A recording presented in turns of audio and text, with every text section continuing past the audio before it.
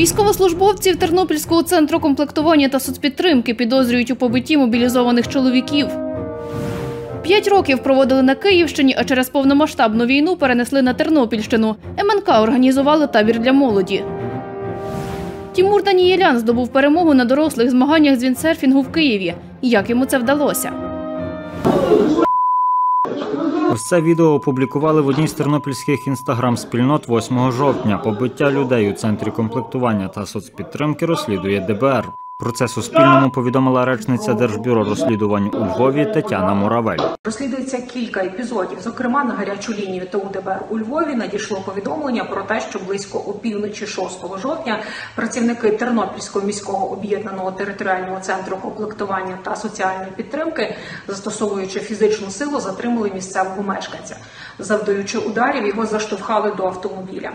Також у соцмережах було оприлюднено відео, на якому зафіксовано, як у приміщенні центру двоє осіб руками б'ють чоловіків. Працівники ДБР оперативно розпочали розслідування, провели огляд приміщення ТЦК, допитали потерпілих. Також вручили скерування їм для проведення судово-медичних експертиз. Проведено слідчі експерименти з потерпілими та інші слідчі розшукові дії. Власне, слідчі дії тривають і будуть встановлені усі обставини цих подій.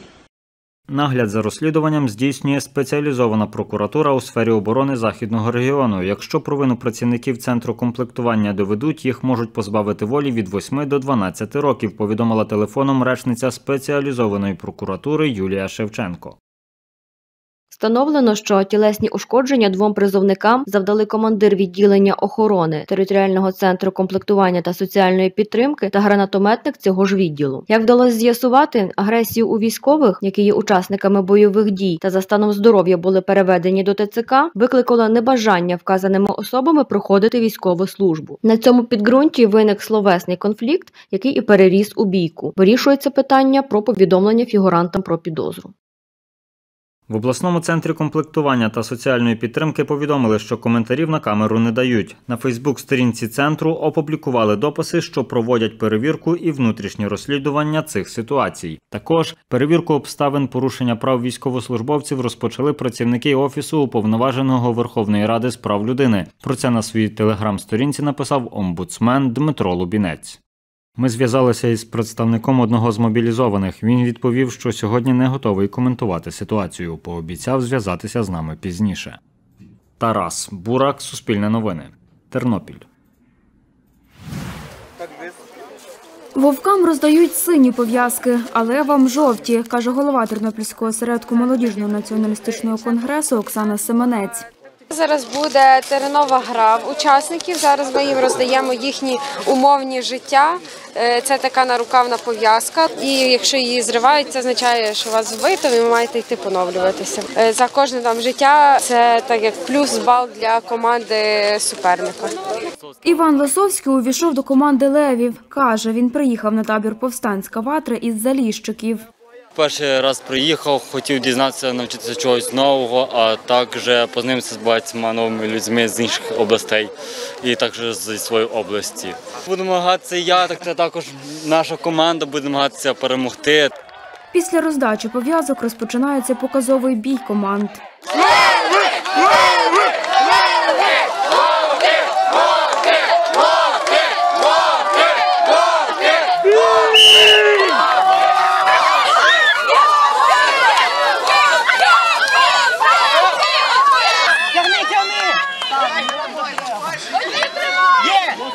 Відібрала життя у двох супротивників Ілона Івасів із Бучача.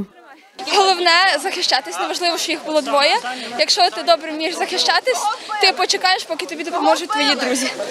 Головне це бути командою і завжди всім допомагати. Так, під час показового бою виграли вовки. Далі команди вирушили на свої точки в лісі, аби змагатися за прапор. За ними готуються вирушати і диверсанти. У нас нескінченна кількість життів, в принципі, і е, нам все одно на рахунок, ну на все. Ми їх можемо просто трохи кошмарити, от і балансувати гру між е, двома е, куріннями. Повстанська ватра на Тернопільщині відбувається вдруге, розповіла голова секретаріату молодіжного націоналістичного конгресу Вікторія Вовк. Каже, раніше її п'ять років проводили на Київщині. Проте через повномасштабне вторгнення російських військ змінили локацію, аби учасники були у безпеці. Розповідає, всі, кого допустили до табору, пройшли попередню співбесіду. Ми з ними спілкуємося, дізнаємося про їхню мотивацію, дізнаємося про їхній досвід у подібних заходах, е, оскільки цей табір він теж має там певну і фізичну складову, і інтелектуальну. І важливо, щоб учасник все ж таки розумів, куди він їде. Це не санаторій, це активний табір. Діана Кочуровська, Андрій Бодак, Суспільне новини, Тернопільщина. Волонтер Володимир Мосейко показує пакунки, які передають для військових на передову. Він каже, з початком осені волонтери громадської організації Десантно-Козацький рій почали відправляти військовим пічки. Перший рейс це було 12 буржуйок.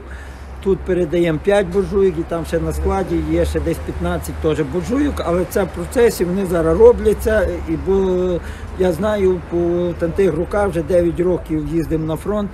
Як тільки холода починаються, значить є потреба в буржуйках. Серед пакунків антидронова рушниця, розповідає волонтер Василь Руденький. За його словами, вже передали на фронт 10 таких рушниць. Ну, Нашим бійцям вона вкрай необхідна. Як, як ви знаєте, зараз війна дронів.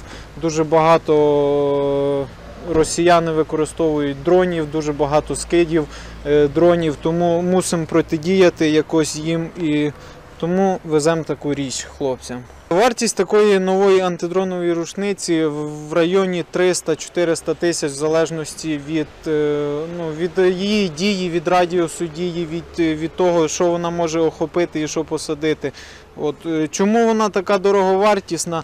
Тому що вона робить дуже велику роботу, е, садить дрони будь-якого виду і будь-якого класу з вибухівкою, з тротилом, е, працює на великих відстанях і зберігає хлопцям життя. Цю допомогу везуть на Донецький напрямок, каже Володимир Мосейко. За його словами, з початку повномасштабної війни волонтери відправили понад 70 тисяч тонн допомоги військовим і жителям областей, де тривають бойові дії.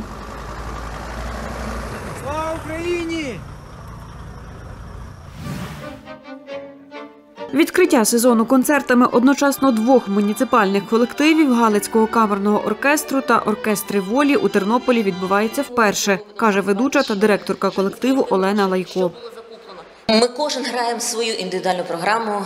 У нас буде Галицьке ретро. Оркестр волі підготував патріотичну програму, Е, тому що зараз якийсь такий час, що хочеться грати разом, хочеться нести творчість свою разом і виконувати при цьому українську музику. Муніципальний Галицький оркестр готується до концерту. Музиканти репетирують одну з 12 композицій програми Галицьке ретро. Емоції, ну напевно, трохи спокою зараз. Нам цього всім бракує.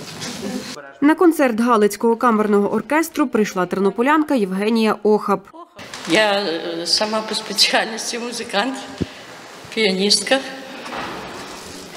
40 років пропрацювала в центрі дитячої творчості. Хочеться десь піти між люди, послухати живу музику, живий оркестр. Під час концерту лунали романси львівського композитора 1930-х років Богдана Весоловського, танго та батярські пісні тих часів.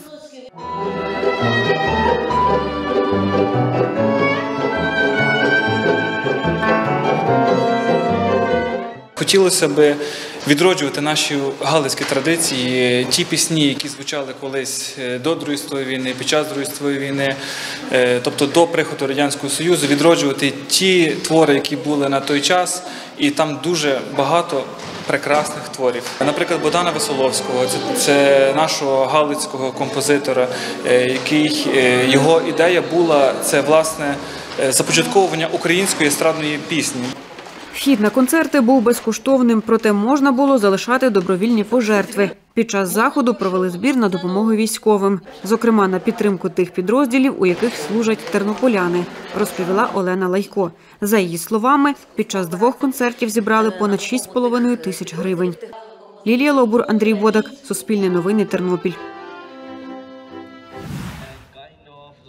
У Тернополі на театральному майдані під час ярмарку Global Village збирали кошти на пікап для військових. Містяни мали можливість передати гроші на допомогу Збройним силам, придбавши вироби ручної роботи та картини. Дев'ятирічна тернополянка Ліза Дубіна разом з мамою та братом придбали брелок. Я сьогодні купила таку іграшку для ну і віддала кошти для військових. Їм треба, наприклад, щось купити, і їм треба кошти для того.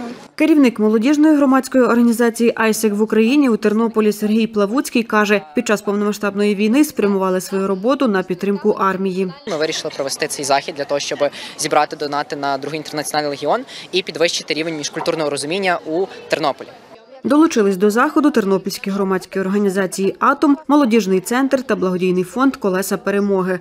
Волонтерка фонду Людмила Лук'ян каже, це вже 378-й автомобіль, який планують придбати для фронту. Орієнтовна вартість авто 300 тисяч гривень, каже волонтерка.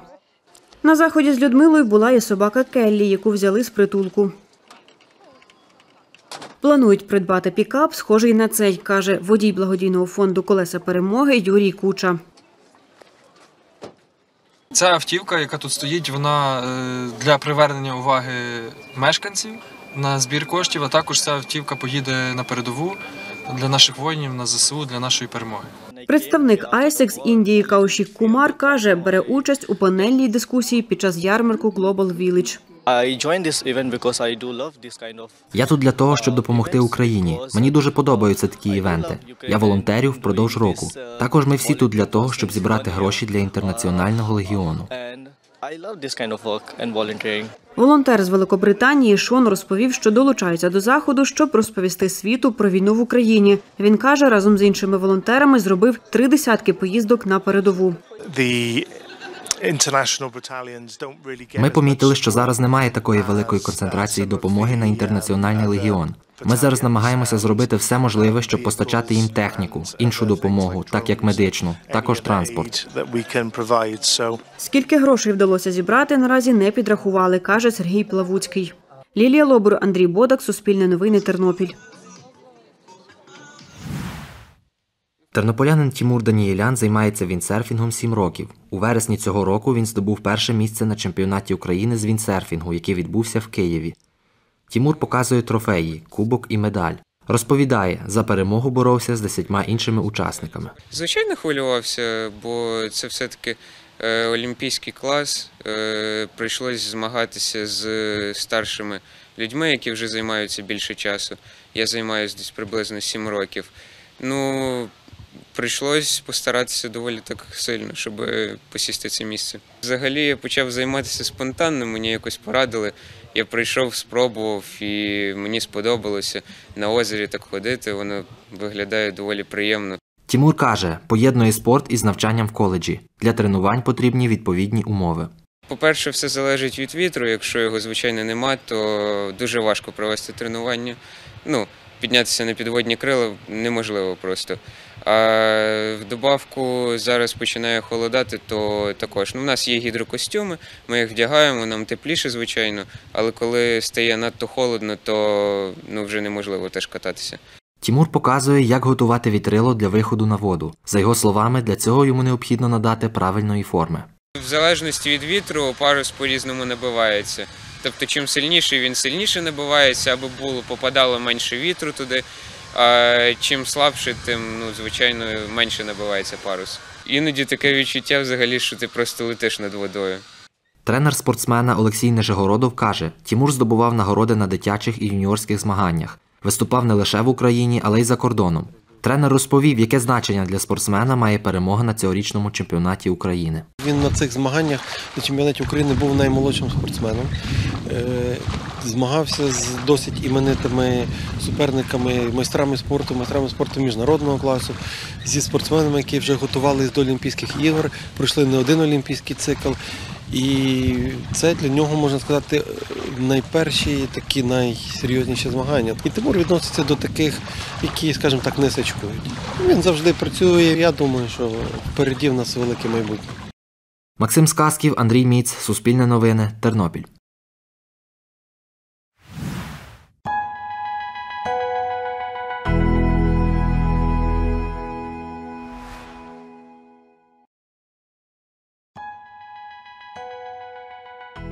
Дивитеся Суспільне Тернопіль. Підписуйтеся на Суспільне Тернопіль у соцмережах.